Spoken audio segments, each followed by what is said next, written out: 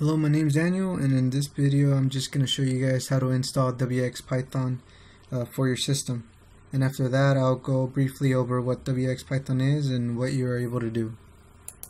Alright, so first off just go to your browser and type in wxpython.org. Uh, you should land on this page. And then just go over here and just click on the download image. And then right here you get the Windows binaries and then also the Mac OS binaries.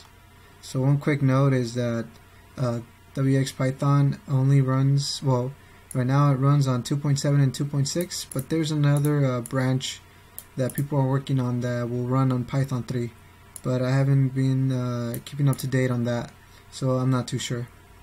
But anyways, I'm using Python 2.7 and I'm using WX Python 3.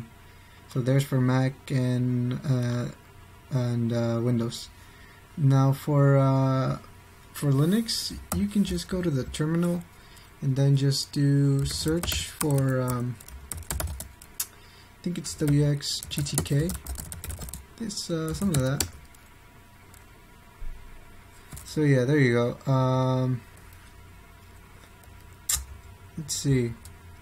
So yeah, here you see. So it's uh, 3xgtk. So yeah, you see right here, uh, I'm using Ubuntu 14.04 and I get this uh, WX Python. This is a 2.8 version, but uh, on my system I made it so that it can get uh, the WX Python 3. I'll put a link down below and to show you guys how to do it. But uh, 2.8 should work just fine for the stuff that we're doing.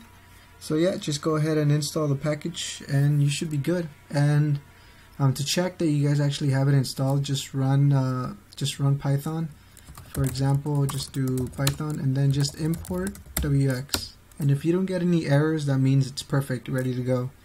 And if you do well then uh, post a comment and I'll see if I'm able to help. Alright so first off um, since you guys uh, are looking at this video you guys vaguely have an idea what WX Python is. What it is is basically a GUI toolkit and it helps you um, create GUIs for uh, Mac, Linux, and Windows basically desktop OSs. Now what you're able to do with it is I'm gonna just show you a quick example of what I uh, what I've been able to do. Oops, Python main. So this is something that I made, you know. So a little uh, application, MathTutor application. So I hit start. You know, um, pick whichever one you want, and it'll ask you math questions of those types. So divide, subtraction, division, all that good stuff. Mixes everything. I'm gonna go with custom and show you guys. So there you go. It, it look even uh, shows me, gives me a little dialogue. So for now, I just want to do multiplication and addition. I'll go for that. Bam. So what's 8 times 0? 0. Amazing. As you guys can see, look at that. It right here, it records the custom operation, multiplication, addition, percentage, and how many questions I've answered. So everything right here is customizable. This is what I did. So yeah. So yeah. Um, this is what you're able to do you know create dialog boxes you know custom number range. Let's say I wanted to go from uh, 10 to uh, 100 you know so the next one will should be from 10 to 100 yep there you go. You see and I'm gonna go with uh, this one. Oh look at that. I'm freaking smart. Um, let's see. Um, yeah. See change operations again whatever I want. Um, yeah that's something that you're able to do. Uh, especially like the about dialogues. They're pretty freaking awesome. Look at that.